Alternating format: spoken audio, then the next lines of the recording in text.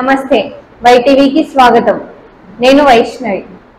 కాంగ్రెస్ హయాంలో ఇచ్చిన ఇంట్లో అల్లుడు వస్తే ఎక్కడ పడుకుంటాడు అని మేము అధికారంలోకి వస్తే డబుల్ బెడ్రూమ్ ఇల్లు ఇస్తామని నమ్మించి టీఆర్ఎస్ పార్టీ ప్రజలను మోసం చేసి ఓట్లు వేయించుకున్నారని టీపీసీసీ ఆర్గనైజింగ్ కార్యదర్శి మేడం బాలకృష్ణ ఎద్దేవా చేశారు. నేడు రామంపేటలో నిర్మించిన డబుల్ బెడ్రూమ్ ఇళ్ళను ఆయన సందర్శించారు. అనంతరం విలేకరులతో మాట్లాడుతూ రామాయంపేటలో సుమారుగా వెయ్యి మంది లబ్ధిదారులు ఉంటే కేవలం మూడు వందల ఇండ్లు మాత్రమే నిర్మించారని వాటిలో కూడా మౌలిక వసతులు కల్పించడం లేదని ఆయన ఆరోపించారు. రెండు వేల పద్నాలుగు ఎన్నికల్లో ఇల్లు లేని వారందరికీ డబుల్ బెడ్రూమ్ ఇల్లు ఇస్తామని ప్రజలను మభ్యపెట్టారన్నారు. రామాయంపేట మండలంలో ఒక గ్రామంలో కూడా డబుల్ బెడ్రూమ్ ఇల్లు నిర్మించిన దాఖలాలు లేవని కనీసం మంజూరు కూడా రాలేదని ఆయన ఎద్దేవా చేశారు. స్థలం ఉన్న వారికి ఇల్లు నిర్మాణానికి ఐదు లక్షలు ఇస్తామని చెప్పి మాట తప్పి మూడు లక్షలన్నారని తెలిపారు. కాంగ్రెస్ పార్టీ తరపున టీఆర్ఎస్ ప్రభుత్వ వైఫల్యాలను స్థానిక ఎమ్మెల్యే వైఫల్యాలను ఎండగడతామని వచ్చే ఎన్నికల్లో టీఆర్ఎస్ పార్టీకి పద్మదేవేందర్ రెడ్డికి ప్రజలు తగిన బుద్ధి చెప్తారని అన్నారు.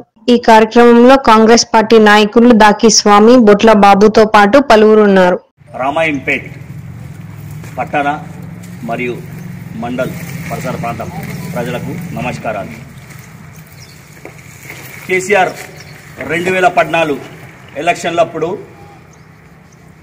పేదలకు డబల్ బెడ్రూమ్ల హామీ ఇవ్వడం జరిగింది. కాంగ్రెస్ పార్టీ ప్రభుత్వంలో ఇందిరం మిల్ అని చెప్పేసి ఒక రూమ్కి ఇచ్చిర్రు. అవి ఎక్కడ సరిపోతున్నాయి? అల్లుడు వస్తే ఎక్కడ పడుకుంటాడు?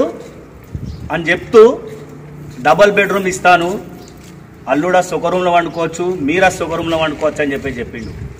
అయ్యా కేసీఆర్ రెండు వేల పద్నాలుగులలో ఎలక్షన్లో ఓట్లు వేయించుకున్నావు గెలిచినావు. రెండు వేల పద్దెనిమిదిలో గెలిచినావు.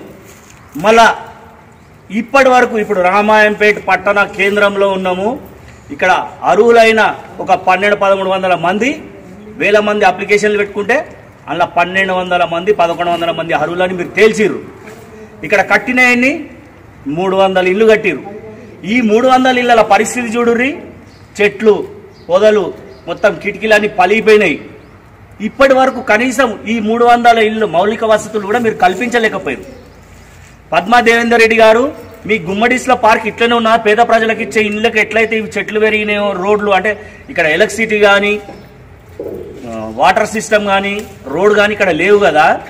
మీ అమ్మ మీ గుమ్మడిస్ పార్క్లో ఇట్లనే ఉంటుందా? మీరు కట్టుకున్న ఇళ్ళల్లో?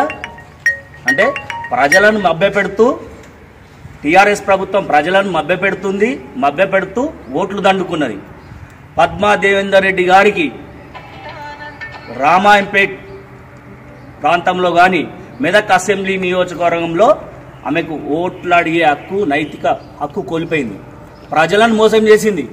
ఇప్పటికైనా పద్మాదేవేందర్ రెడ్డి గారు అరువులైన అందరికీ డబుల్ బెడ్రూమ్ ఇవ్వకపోతే వచ్చేసారి ఎలక్షన్లలో నీ క్యాంపెయిన్ చేసేటప్పుడు అరువులైన వాళ్ళందరూ కూడా మీకు బుద్ధి చెప్తారని చెప్పేసి కాంగ్రెస్ పార్టీ తరఫున తెలియజేస్తున్నాను.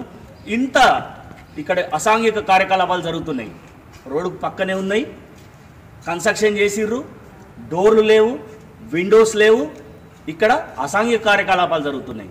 దానికి ఎవరమ్మా బాధ్యులు? ఈ ఇట్లాంటి ప్రాంతంలో నా మీరు? ఇంకెప్పుడు ఇస్తారు? ఎనిమిది సంవత్సరాలు అవుతుంది ఓట్లు వేసుకొని గెలిచిర్రు. ఈ డబుల్ బెడ్రూమ్లు ఎప్పుడు ఇస్తారు? అప్పుడు కాంగ్రెస్ పార్టీ జాబ్ ఉన్నోళ్ళకు డబ్బులు ఇచ్చి సిమెంట్ ఇచ్చి ఇల్లు కట్టుకోమని చెప్పేది. ఇవాళ రోజున కూడా ఎంతోమంది ఇల్లు కట్టుకున్నారు. మనం విలేజ్లకు పోతే అయ్యో ఇందిరమ్మ ఇల్లు అని చెప్పి చెప్తున్నారు. పట్టణంలో మూడు వందల కన్స్ట్రక్షన్ చేస్తారు ఇప్పటివరకు ఇయ్యరు. మండలంలో అయితే ఆ ఊసేయలేదు రామాయంపేట మండలంలో ఎక్కడ కూడా ఏ ఒక్క విలేజ్లో డబల్ బెడ్రూమ్ కట్టిన దాఖలు లేవు కనీసం అలాట్మెంట్ చేసిన దాఖలు లేవు. మళ్ళా కేసీఆర్ చెప్పిండు ఐదు మీకు సొంత జాగా ఉంటే ఇక డబుల్ బెడ్రూమ్ కష్టమవుతుందాయా నేను మాట తప్పిన నేను మాట తప్పిన ఇప్పుడు ఐదున్నర లక్షలు ఇస్తా అని చెప్పేసి చెప్పిండు. మళ్ళీ హరీష్ రావు స్టేట్మెంట్ ఏముంటుంది? మూడు లక్షలు ఇస్తాం మీకు జాగా ఉంటే అని చెప్పేసి అంటది. అయ్యా అంటే సిమెంట్ ధరలు తగ్గినాయని రేట్ తగ్గించినావా? స్టీల్ ధరలు తగ్గినాయని రేట్ తగ్గించినావా? పెట్రోల్ ధరలు తగ్గినాయని తగ్గించినావా? డీజిల్ ధరలు తగ్గించినాయని తగ్గించినావా? అంటే మామొక మాట అల్లుడు ఒక మాట ఇడ ఎమ్మెల్యే ఒక మాట. అంటే ఇంత దరిద్రమైన పరిపాలన సాగుతుంది. టీఆర్ఎస్ పార్టీలో ఖచ్చితంగా కాంగ్రెస్ పార్టీ తరఫున మీరు చేసే వైఫల్యాలు మీరు చేసే అబద్ధాలను గ్రామ గ్రామాన పట్టణ పట్టణాన్ని తీసుకెళ్తాం. పద్మా దేవేందర్ రెడ్డి గారు ఇప్పటికైనా చెప్తున్న అరువులైన అందరికీ డబుల్ బెడ్రూమ్ ఇస్తేనే నీకు ఓట్లు అడిగి నైతిక హక్కు ఉంటుందని చెప్పేసి కాంగ్రెస్ పార్టీ తరఫున డిమాండ్ చేస్తున్నాం